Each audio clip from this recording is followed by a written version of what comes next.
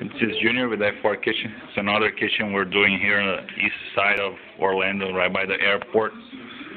Removing this cabinet here on the top. And I'm gonna make this a open floor plan by doing that. Taking all these cabinets down, getting all new cabinets. This is a door style we're doing.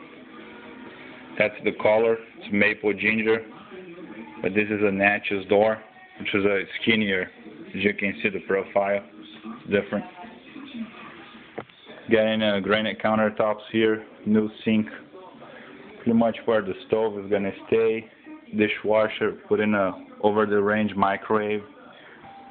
Um, shaker crown molding, just like 45 degrees.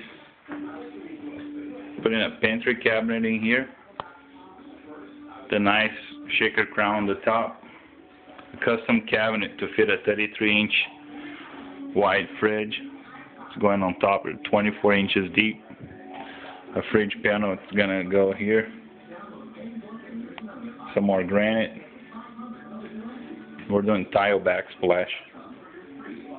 Come back when it's all done. Thank you.